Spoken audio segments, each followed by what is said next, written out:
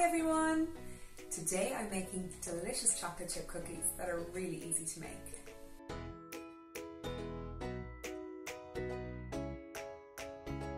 One hundred grams of butter.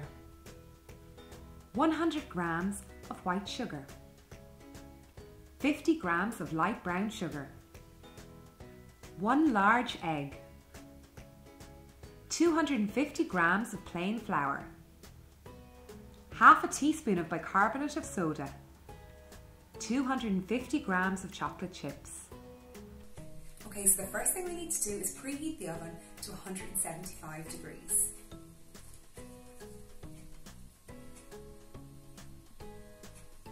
Next, I need to get my softened butter and mix it with the two sugars, the caster sugar and the light brown sugar in the bowl. I'm going to mix them together beat them with the electric whisk until they are pale and fluffy.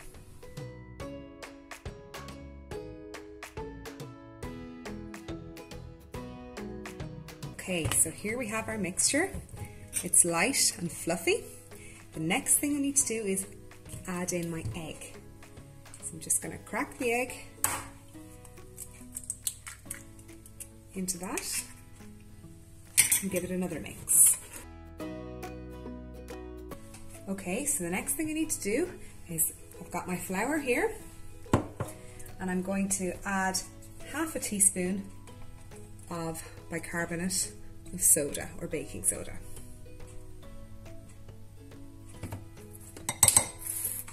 Now I need to sieve both of these into the mixture.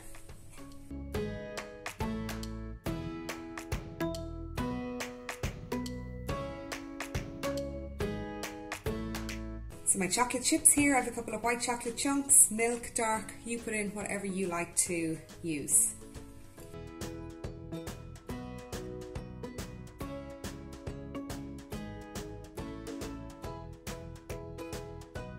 Okay, so the cookie dough is ready. And you can add more chocolate chips or less, or you could add nuts, or you could add raisins or cranberries, any kind of dried fruit, whatever you like. I've done the three different kind of chocolate chips. Okay, so the next thing we need to do is pop them onto a baking tray. So I have two baking trays that I've already lined with parchment. Um, it'll probably need more than that, so what I'll do is I'll put two trays into the oven for 13 to 15 minutes and then take them out and I might need to put in um, a second batch. In the meantime, taste the cookie dough. It's absolutely delicious, just as it is. Okay, so you get a little bit of dough, roll it up into a ball, pop it on, and flatten it down a little bit, and do the same, and keep them about two inches apart on the tray. Another thing that I like to do sometimes is put something inside my cookie.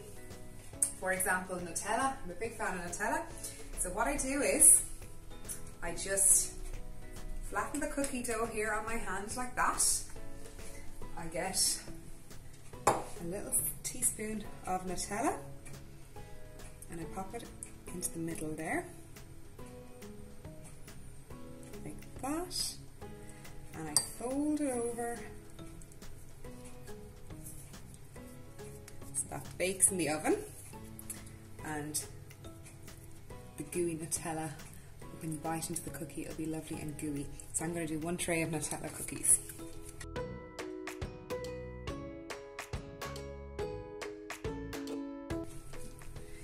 Okay, so there, there's my first 12 cookies made. Six with Nutella, six without Nutella.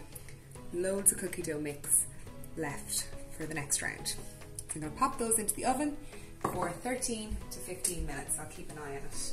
Alexa will have me keep an eye on it. Okay guys, it's been about 14 minutes. So I'm to take the cookies out of the oven and see if they're ready. Okay, this is my first tray, the ones with the Nutella, yeah, they're done, they're still a little bit pale, but once they start to brown around the edge, that means they're definitely done. These ones are still a little bit paler, so I'm going to move them to the top shelf for another minute.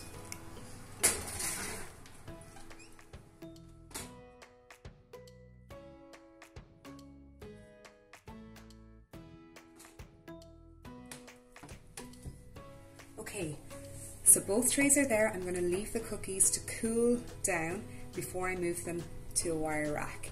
And then I have more dough ready to go on the next load of trays.